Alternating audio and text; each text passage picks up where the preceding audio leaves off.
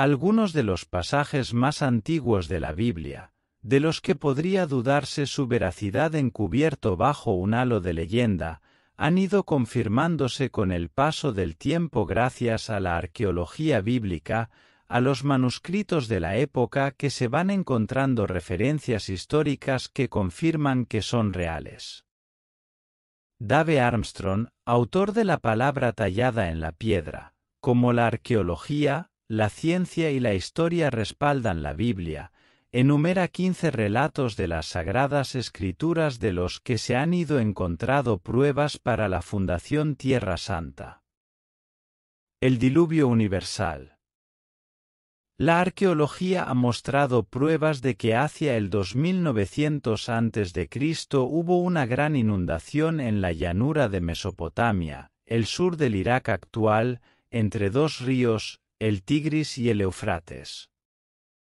Leonard Woolley fue el arqueólogo que lo constató mientras excavaba la ciudad bíblica de Ur. El agua habría tardado unos diez meses en secarse, como se dice en el Génesis 7, 11 y 8, 13. Abraham vivió en Berseba.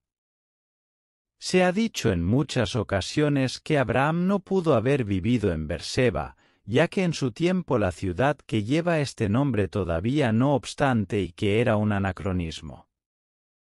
En ninguna de las ocasiones en que se cita en la Biblia se refiere a Berseba como una ciudad o un pueblo. De hecho, en la primera de ellas, Génesis capítulo 21, verso 14, se le refiere como desierto de Berseba. Sodoma y Gomorra. El libro del Génesis, capítulo 19, verso 24, se narra la destrucción de dos conocidas ciudades. El Señor hizo llover sobre Sodoma y Gomorra azufre y fuego desde el cielo.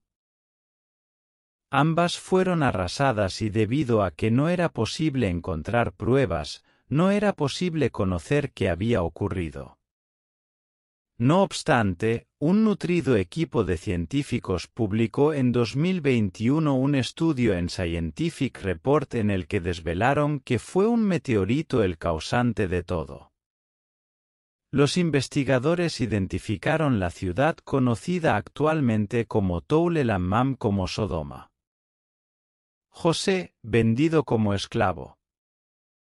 De nuevo, el primer libro de la Biblia, Génesis capítulo 37, veros del 25 al 28, plasma el episodio en el que José es vendido por sus hermanos como esclavo a unos mercaderes madianitas por veinte monedas de plata.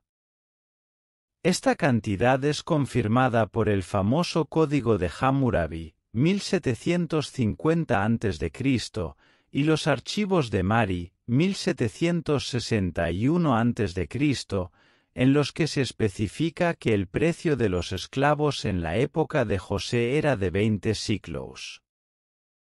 Dios alimentó a los israelitas con codornices. La Biblia sitúa las codornices en el Sinaí específicamente durante la época primaveral a lo largo de las costas, Éxodo capítulo 16, verso 1, Números capítulo 10, versos 11, 11, 31, 34. Ahora, conocemos las rutas de migraciones de estas aves, que una vez al año dejan el interior de África y comienzan a subir masivamente hacia el norte. Hacia el mes de marzo llegan a Egipto y el Sinaí y más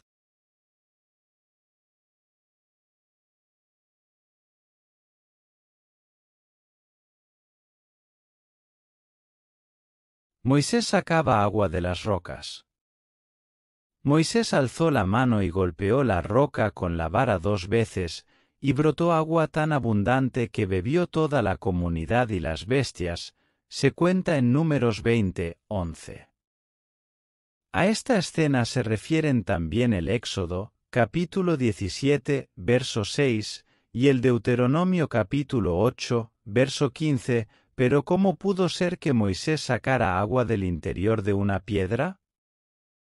La principal hipótesis científica que se plantea es que esta era una roca arenisca que abundan en la península del Sinaí.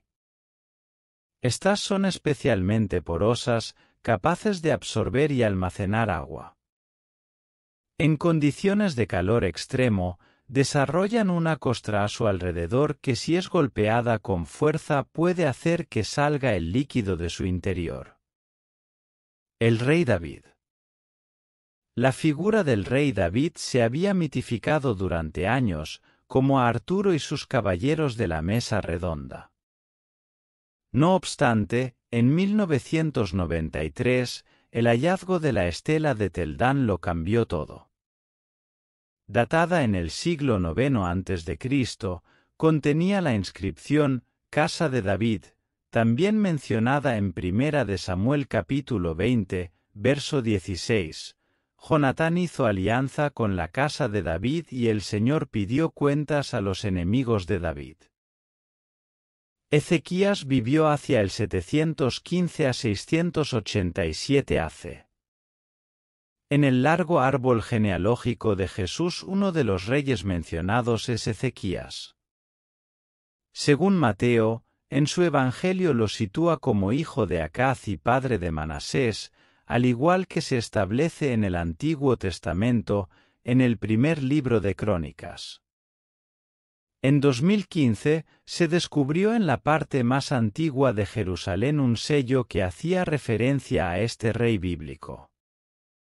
Se fechó entre el 727 y el 698 a.C. Bajo su reinado se construyó el famoso túnel que lleva su nombre, Segunda de Reyes capítulo 20, verso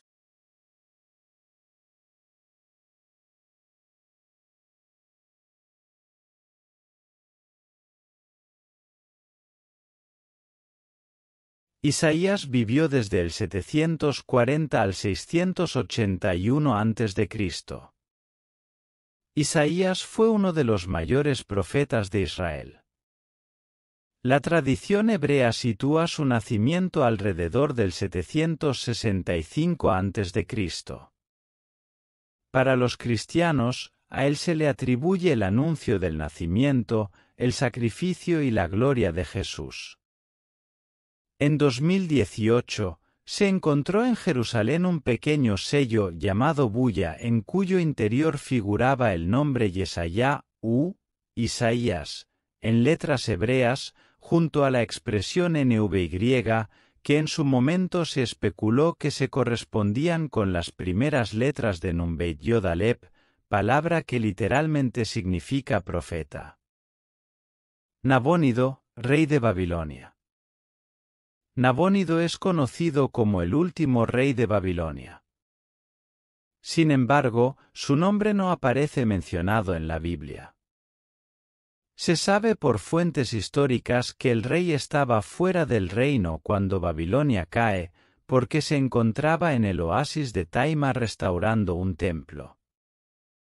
Su hijo Baltasar quedó como regente, figura que se aparece en los textos bíblicos como rey de Babilonia, Daniel capítulo 5, verso 1, capítulo 7, verso 1, capítulo 8, verso 1.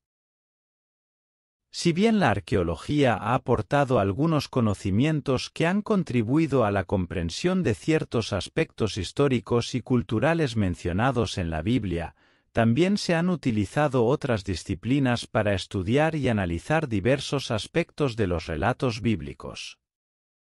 A continuación se muestran algunas ciencias que se relacionan con la Biblia de diferentes maneras. Historia. La historia es importante para ubicar los eventos y personajes mencionados en la Biblia en su marco histórico. Los estudios históricos pueden ayudar a reconstruir los contextos políticos, sociales y culturales en los que surgieron las historias bíblicas. Lingüística, el estudio de lenguas antiguas como el hebreo, el arameo y el griego puede arrojar luz sobre la autenticidad y la interpretación precisa de los textos bíblicos. La lingüística también puede ayudar a comprender mejor la traducción y transmisión de textos a lo largo del tiempo. Geografía. La geografía puede ser útil para encontrar lugares mencionados en la Biblia y comprender su significado en los relatos bíblicos. El conocimiento de la topografía, el clima y la geología de la región puede arrojar luz sobre eventos y narrativas específicas. Ciencias naturales. Aunque las ciencias naturales no pueden probar los eventos sobrenaturales descritos en la Biblia, pueden proporcionar información sobre fenómenos naturales que pueden haber influido en los relatos bíblicos. Por ejemplo, la meteorología podría explicar los fenómenos climáticos y la geología podría explicar los terremotos o las erupciones volcánicas. Estudios religiosos y teología estas disciplinas se centran en la interpretación de textos religiosos y la comprensión de las creencias y prácticas religiosas asociadas. Los estudios religiosos y la teología pueden ofrecer diferentes enfoques para comprender el significado y la relevancia de las historias bíblicas en diferentes contextos religiosos y culturales. Juntas, estas disciplinas, junto con la arqueología, pueden proporcionar una comprensión más completa y matizada de la Biblia y su relación con la historia, la cultura y la religión. Es importante reconocer que cada disciplina tiene sus propios métodos y enfoques y que ninguna disciplina por sí sola puede proporcionar una comprensión completa.